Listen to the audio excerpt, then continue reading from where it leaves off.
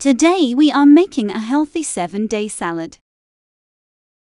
Our ingredients are onion peppers, lettuce, cucumbers, avocados and lemons.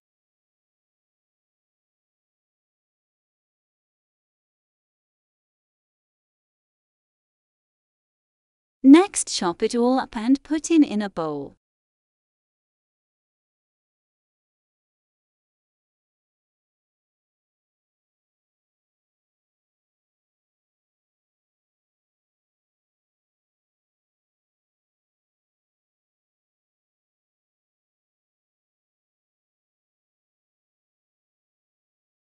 Then add olive oil and vinegar.